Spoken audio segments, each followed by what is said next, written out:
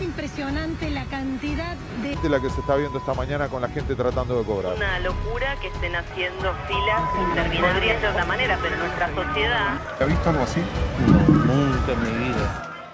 Amid COVID-19 crisis, millions of retirees expose themselves to the virus. Why?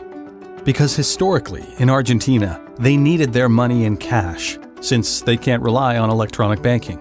A cultural habit impossible to change. They had to choose either go out and risk their lives in long bank queues or stay at home without any money. So, we changed our way of handling cash completely.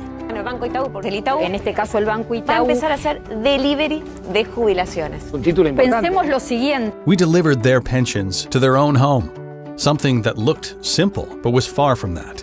Because we couldn't use an existing delivery service, it had to be safe and pre approved by Argentina's federal bank.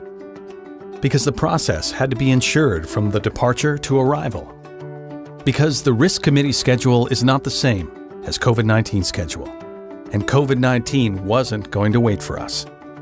That's why we overcame bureaucracy, lawyers, and legal approbations at a record time, creating our own delivery system of microflow transportation, an entire new protocol of secure ID verification, and a whole new concept for a bank transaction where the bank goes out to the streets to reach the people.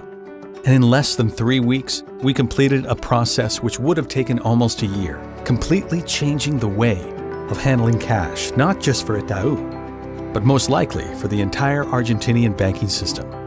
Because today, more than ever, we must do the impossible to take care of each other.